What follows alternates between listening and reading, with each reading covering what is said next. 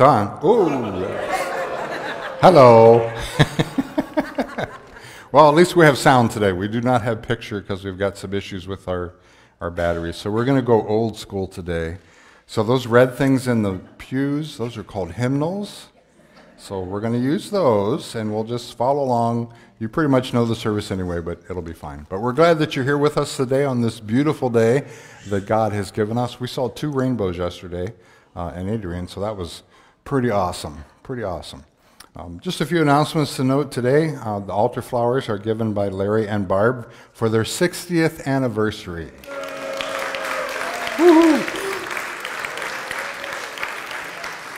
And because it's their anniversary, they're providing coffee hour today. It'll be in the big room after church, so come and join them and, and celebrate some more with their 60th. Uh, this is the last Sunday to donate towards the bishop's request that we have a special offering for the Evangelical Lutheran Church in Jerusalem and the Holy Land. So there's a, a basket at the back if you would like to do so for that. Also coming up on August 24th, we're having a Mud Hens outing as a congregation, and that will be uh, $14 per ticket give it to Vicki Kirsch by the first Sunday in August. So you got a little bit of time, but let's have a good outing for that. Our Tanzania project, our next service project is July 16th from 10 to 4. And Deb Kogelman is going to come forward and talk about our centennial events that are happening.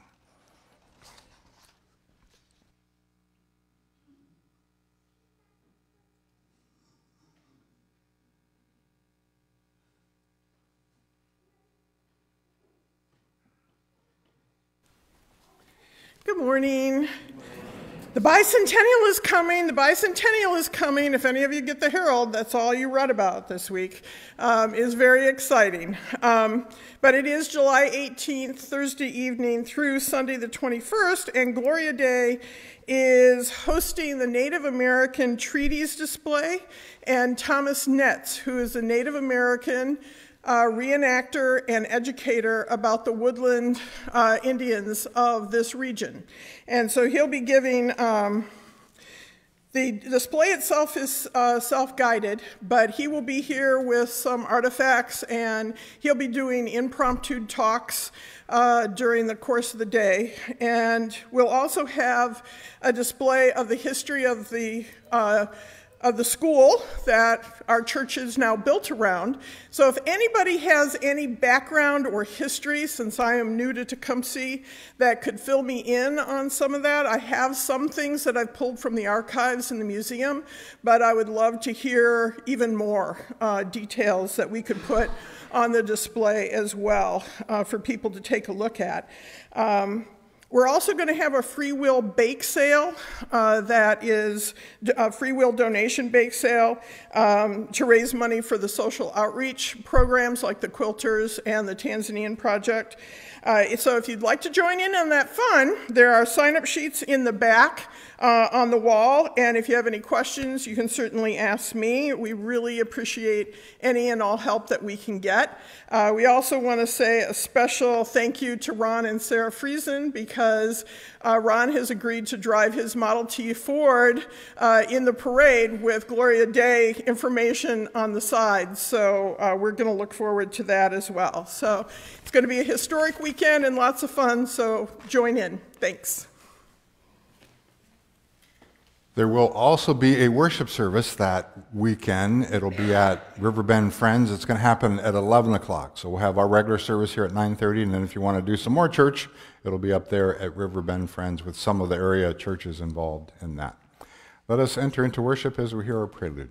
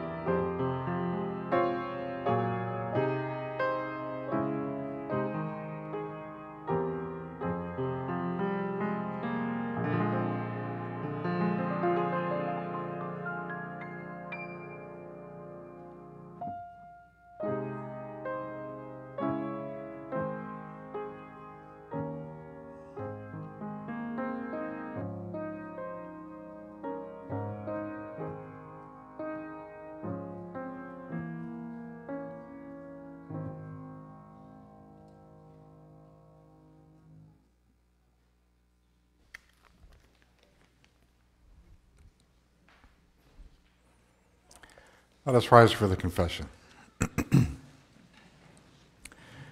Blessed be the Holy Trinity, one God, the God of manna, the God of miracles, the God of mercy. Amen. Drawn to Christ and seeking God's abundance, let us confess our sin. God, our provider, help us. It is hard to believe there is enough to share. We question your ways when they differ from the ways of the world in which we live. We turn to our own understanding rather than trusting in you. We take offense at your teachings and your ways. Turn us again to you. Where else can we turn? Share with us the words of eternal life and feed us for life in the world. Amen. Beloved people of God, in Jesus, the manna from heaven, you are fed and nourished. By Jesus, the worker of miracles, there is always more than enough. Through Jesus, the bread of life, you are shown God's mercy, you are forgiven and loved into abundant life. Amen. We sing our opening hymn, number 712, verses 1 to 4.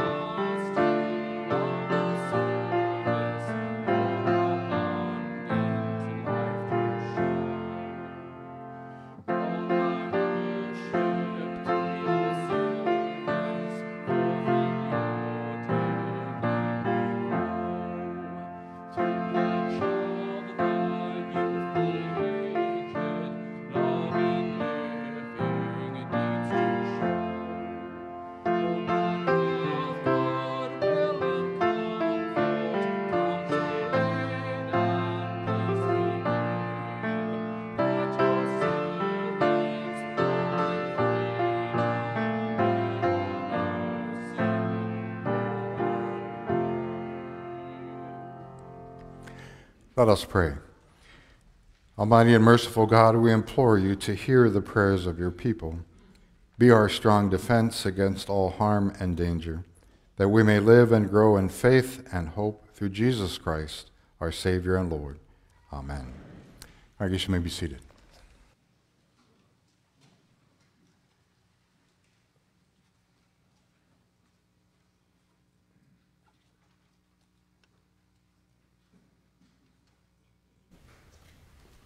Good morning again. Our first reading is Lamentations chapter 3, verses 22 through 33. Um, the book of Lamentations is one of the most important sources of information about the fall of Jerusalem to the Babylonians in 587 BCE.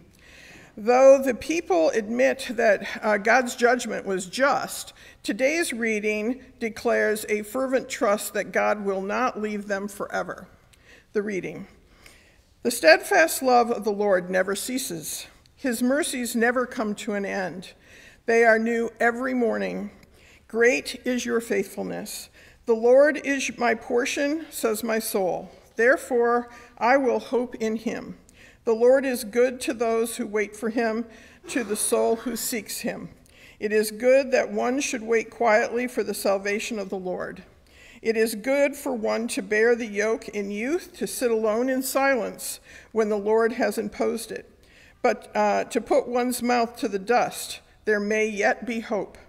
To give one's cheek to the smiter and be filled with insults. For the Lord will not reject forever.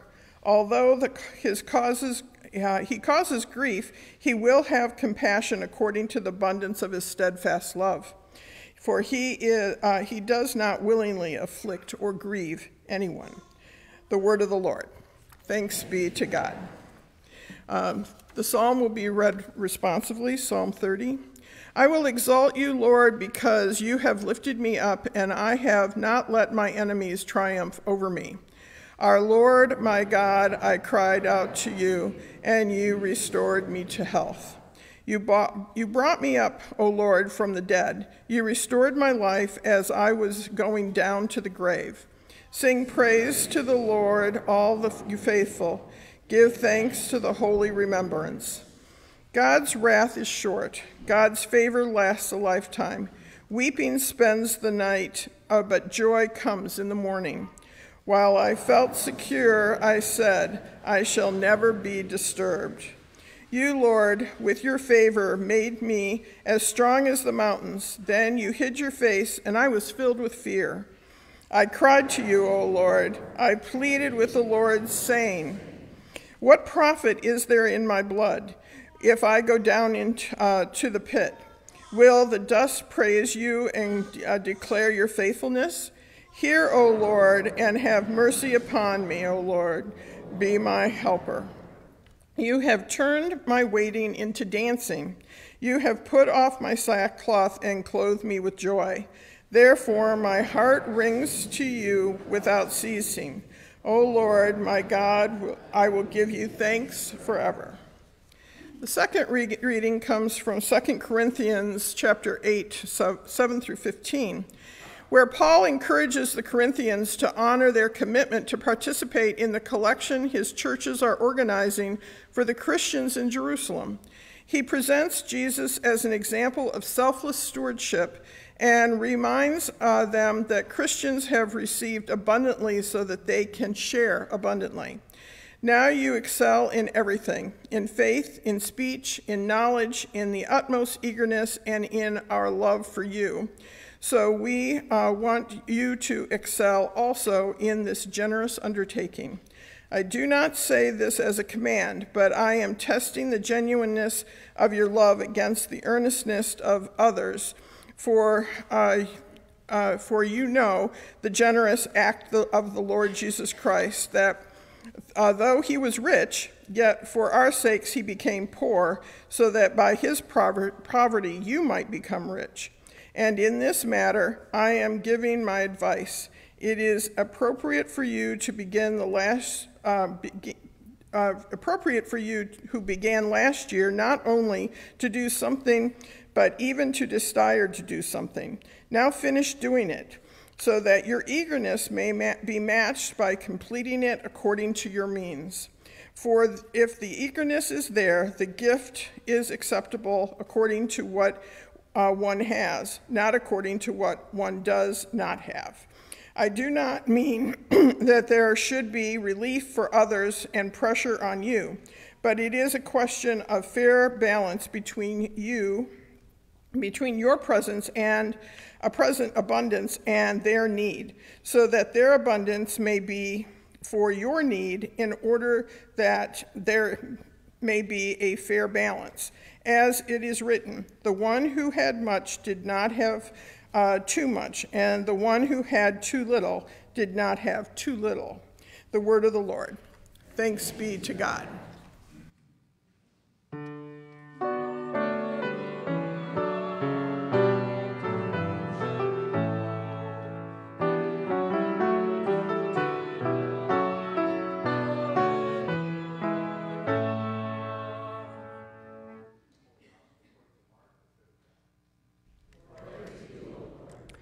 When Jesus had crossed again in the boat to the other side, a great crowd gathered around him, and he was by the sea. Then one of the leaders of the synagogue, named Jairus, came, and when he saw him, fell at his feet and begged him repeatedly, My little daughter is at the point of death. Come and lay your hands on her, so that she may be made well and live. So Jesus went with him. And a large crowd followed him and pressed in on him. Now there was a woman who had been suffering from hemorrhages for twelve years. She had endured much under many physicians and had spent all that she had, and she was no better but rather grew worse. She had heard about Jesus and came up behind him in the crowd and touched his cloak, for she said, If I but touch his clothes, I will be made well. Immediately her hemorrhage stopped, and she felt in her body that she was healed of her disease. Immediately, where that power had gone out from him, Jesus turned about in the crowd and said, Who touched my clothes? And his disciples said to him, You see the crowd pressing in on you. How can you say, Who touched me? He looked all around to see who had done it. But the woman, knowing what had happened to her, came in fear and trembling, fell down before him, and told him the whole truth. He said to her, Daughter, your faith has made you well. Go in peace and be healed of your disease. While he was still speaking, some people came from the leader's house to say, Your daughter is dead. Why trouble the teacher any further? But overhearing what they said, Jesus said to the leader of the synagogue, Do not fear only believe. He allowed no one to follow him except Peter, James, and John, the brother of James. When they came to the house of the leader of the synagogue, he saw a commotion, people weeping and wailing loudly. When he had entered, he said to them, Why do you make a commotion and weep? The child is not dead, but sleeping. And they laughed at him. Then he put them all outside and took the child's father and mother and those who were with him and went in where the child was. He took her by the hand and said to her, Talitha cum, which means, Little girl, get up. And immediately the girl got up and began to walk about. She was 12 years of age. At this, they were overcome with amazement. He strictly ordered them that no one should know this and told them to give her something to eat.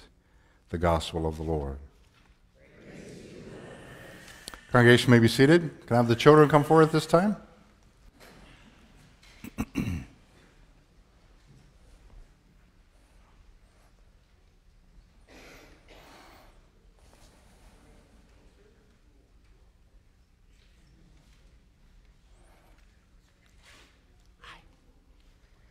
guys can sit there. That's the only ones that are willing to come up? Okay. Good morning. How's everybody? Good. You guys all packed up?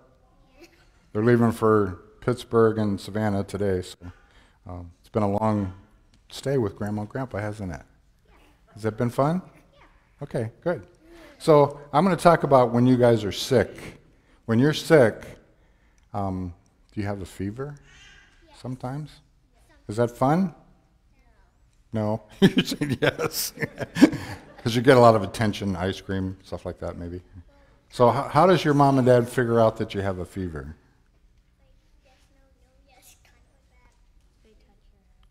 They touch your head. They touch your head, just like that. Because if you're really hot, then they go get a thermometer and they try, you know, to get an accurate reading of what your fever actually is. So they touch you.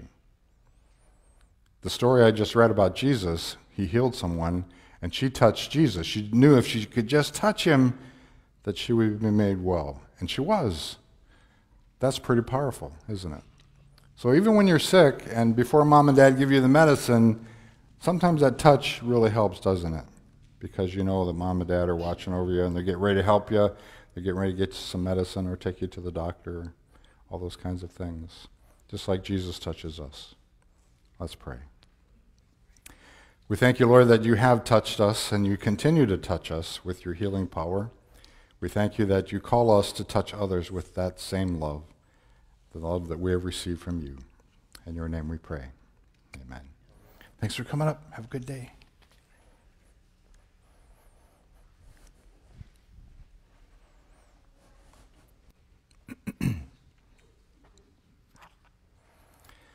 Grace, mercy, and peace to you from God our Father and our Lord and Savior Jesus, the living Christ.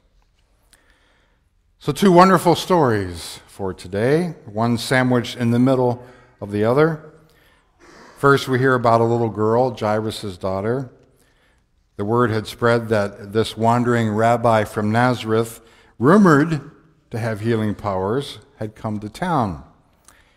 And Jairus was one of the high muckety mucks in the local synagogue and the father of a very sick child. And ordinarily, we would not expect Jairus to have anything to do with Jesus. After all, leaders of other synagogues were a little down on this leader. But biology trumps theology every time. And Jairus wants his little girl healed. And she would always be his little girl, no matter how old she was. Any father knows that. And this is why this gospel records him as falling at the feet of Jesus. This leader of the synagogue, this dignified man, falls at the feet of Jesus. And instead of a calm request, he's probably grabbing Jesus around the ankles over and over. He is screaming, half crying, half asking, Jesus, my little daughter is the point of death. Come and lay your hands on her so she may be well and live. Jesus, my little daughter is the point of death. Jesus, my little daughter is at the point of death. Come and lay your hands on her that she may live. And we have no record of Jesus' response, just that Jairus' begging must have worked because we read that Jesus immediately goes with him. And meanwhile, we're introduced to this nameless woman, a nobody, not nearly as important as Jairus, and for all 12 years of Jairus' daughter's life, this poor lady has had no life. For you see, these hemorrhages were not merely inconvenient in a society that placed immense value on ritual purity, they disqualified her from being in the synagogue. She could have no contact with anyone else in the community of faith. But this was some spunky lady. She had survived this misery for a dozen years without giving in. There's no mention of a husband here, and a time when marriage could be ended as for something as silly as burning the breakfast bagels. He probably left her a long time ago. And no doubt she'd tried all the ritual cures. In the Jewish Talmud, which is the primary source for all religious law and theology for Jews, it gives no fewer than 11 cures for hemorrhages. And some of them are tonics and astringents, but some are just sheer superstition, like carrying the ashes of an ostrich egg in a linen pouch in summer and a cotton one in the winter, or carrying a barley corn that has been found in the dung of a white female donkey. No luck, though. And the doctors had been of no help. All they had cured her of was her bank balance. And now she was broke. And all she could do was pay attention. But she had paid attention when the word came about this Jesus. And how did she get so close to him? After all, in a small town, her secret would have been known. No one would have wanted her to get close to a holy man, to a rabbi. But this is one of those rare times where the crowds waiting to see Jesus kind of worked in her favor. Her face would have been veiled, as would have been the face of any respectable lady on the street. So off she went. And what would she do when she got close to the rabbi? Would she slowly make her way near him and then, with a flourish, whip off her veil while the townsfolk would stand by horrified? and announce that she wanted to be healed? Nope, too bold, she thought. She settled on a plan. If I but touch his clothes, I will be made well. Just read out and touch. No big deal, just touch. And then steal away into the crowd. And as she made her way to that fateful meeting, she kept repeating to herself, If I but touch his clothes, I will be made well. If I but touch his clothes, I will be made well. If I but touch his clothes, I will be made well. And I wonder where she learned that, the healing power of a touch. And we know what happens next. Her gutsiness is rewarded. As we read, immediately, immediately, her hemorrhage stopped. And she felt in her body that she was healed. Wait a minute! Who touched my clothes? Uh oh. If this lady had taken a great leap of faith now, she probably wanted to find a great leap of escape. She could have just stayed silent. Even the disciples had given her an out. Good night, Jesus. We're surrounded by people. Who touched you? Are you serious? Don't breathe, she must have thought. Just keep quiet. That would certainly be better than going and admitting in front of God and everybody that she had just made this rabbi as unclean as she was with her selfish touch. And what was the penalty for deliberately making another person unclean? Stoning by death. It only took a moment for her to make up her mind. With fear and trembling, she came forward, the veil slowly falling from her face. The neighbors in the crowd must have gasped as they recognized her coming to confess. And haltingly, she began to explain Twelve years, rituals, doctors, lost all my money, last resort, if I but touch. And Jesus stopped her with a word. Daughter. By the way, this is the only place in all four Gospels where we find this word Daughter, your faith has made you well. Go in peace and be healed of your disease. Or, as a more contemporary version reads, Go in peace and take care of yourself. Wow. Meanwhile, the business at hand interrupts Jairus' daughter. Don't bother Jesus anymore. They say it's too late. She's gone. She's dead. His friends, friends, mumble. Probably almost adding, if you wouldn't have been bothering with that woman. And I wonder what went through Jairus' mind.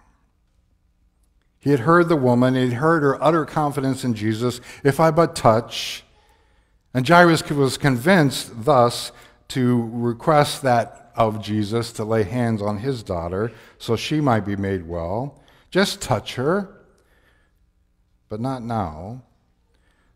According to Mosaic law, three things could make anyone ritually unclean and excluded from the community leprosy, uncleanliness caused by a discharge or hemorrhage, and touching a corpse. So the rabbi wasn't supposed to do this. But before Jairus could sort this all out in his mind, and certainly before anyone realized that at least one of those taboos had been broken, Jesus says to him, Do not fear, but believe. So by the time the group gets to the house, the weeping and the wailing had commenced. All the traditional mourners had been hired. The lunch had probably been set up. And Jesus says they jumped the gun. Why do you make a commotion? Why do you weep? He says. The child's not dead. She's just sleeping. And the crowd laughs hysterically and sarcastically. But we see what happens. He takes her by the hand and says, Little girl, get up. The healing touch there's something tremendously therapeutic in touch. After all, there's no better place for that to begin than here. There's no better place for those without hope to be touched than here.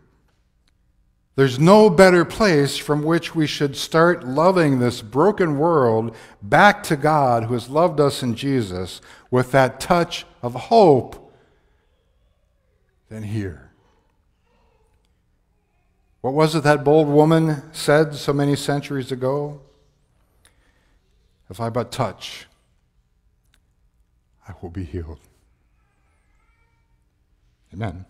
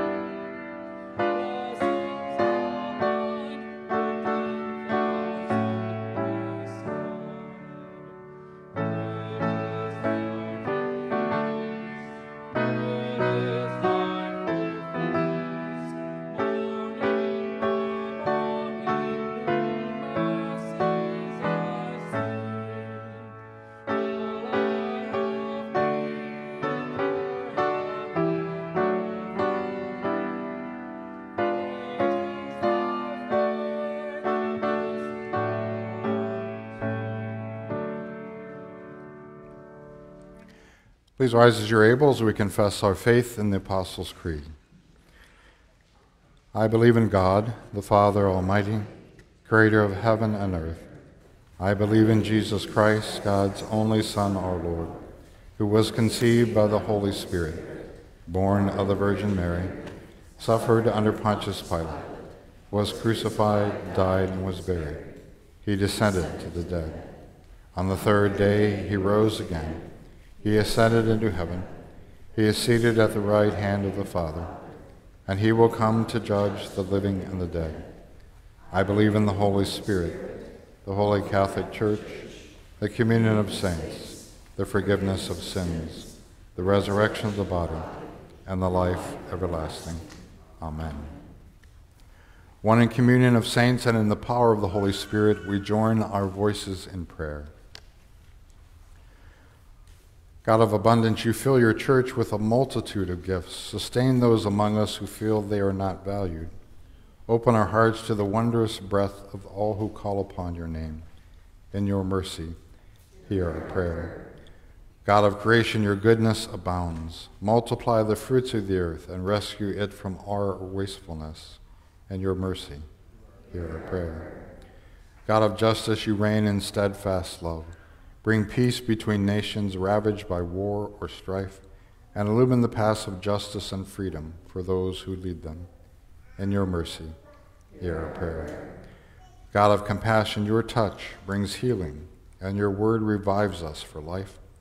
Hear our prayers for Xavier, Randy, Stetson, Bob, Blaine, Rebecca, Charles, Fred, Sherry, Michael, Gail, May, Audrey, Nancy, Gary, Roger, Cheryl, Doug, Wayne, Todd, Rick, Wade, David, Brian, Bob, Nan, Jim, Donna, and Juliana, Pastor Sarah, and Pastor Hank, our River Raising retired pastors Rick Webb, Tim Lentner, Rich Rentner, Al Nelson, Emily Frank, Frank Payne, and Gary Leaking, the people of Ukraine and the Middle East, and all who are in need for doctors and nurses and healthcare workers who provide care.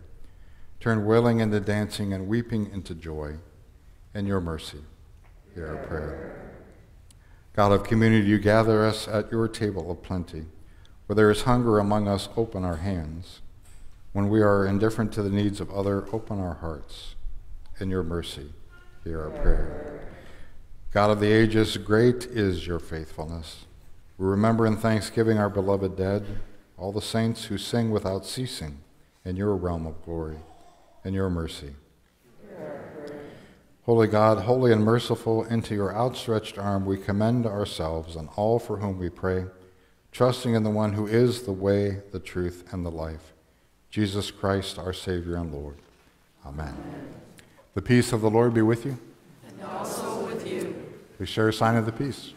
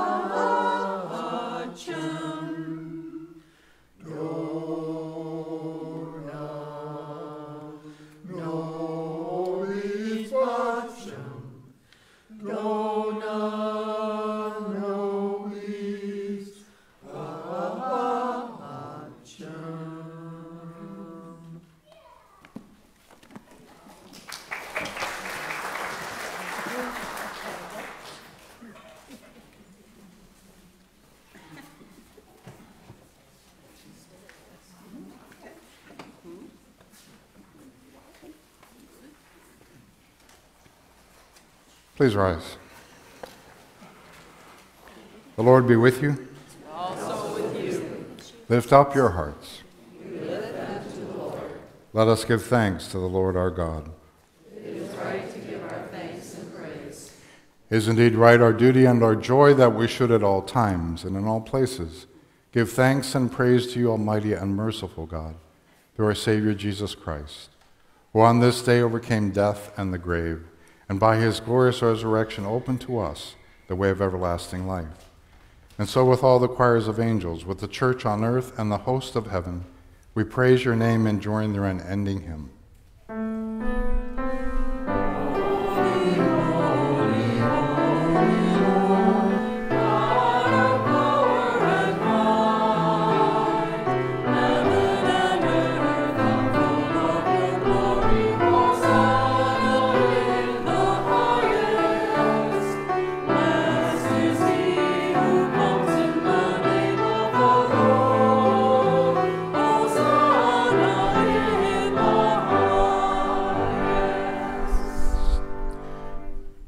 The night in which he was betrayed, our Lord Jesus took bread and gave thanks, broke it and gave it to his disciples, saying, Take and eat, this is my body given for you. Do this for the remembrance of me. Again, after supper, he took the cup. When he had given thanks, he gave it for all to drink, saying, This cup is a new covenant in my blood, shed for you and for all people for the forgiveness of sin.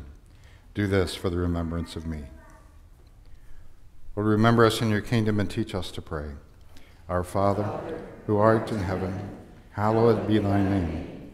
Thy kingdom come, thy will be done, on earth as it is in heaven. Give us this day our daily bread, and forgive us our trespasses, as we forgive those who trespass against us. And lead us not to temptation, but deliver us from evil. For thine is the kingdom, and the power, and the glory, forever and ever. Amen. We feast on God's meal of love for us together. May be seated.